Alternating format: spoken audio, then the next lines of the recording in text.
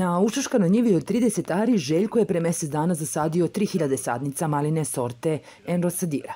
A zašto je malo u Srbiji objašnjava time da nema radne snage, ali da se ljudi teško odlučuju da uzgajaju nešto novo i o čemu ne znaju dovoljno.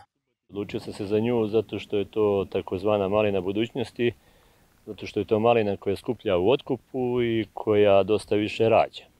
Ulaganja su malo veće na početku, ali se dugoročno isplati jer je otkupna cena prošle godine bila od 600 do 800 dinara. Željko očekuje da će ove prve godine svaka sadnica dati bar pola kilograma roda i napravio je poređenje sa drugim sortama maline koje se kod nas uzgajaju. Vilamet recimo rađa nekih oko 3 kg po metru, da kažemo kako kome, negde više, negde manje, e, zavisi ko ima kap po kap, a ova sorta maline je projektovana od 6 do 9 kg bez plastenika. Dakle, i bez dodatnog e, roda na proleće, zavisi ko, ko, kako će da radi. Tako da, u principu, što se tiče ploda, plodovi su 7 do 10 grama, za razliku od vilameta koji je recimo 2, 3, zavisi kako se desi do godine. Željko prvu berbu očekuje sredinom septembra, a već sledeće godine sezona branja trajaće od avgusta do decembra.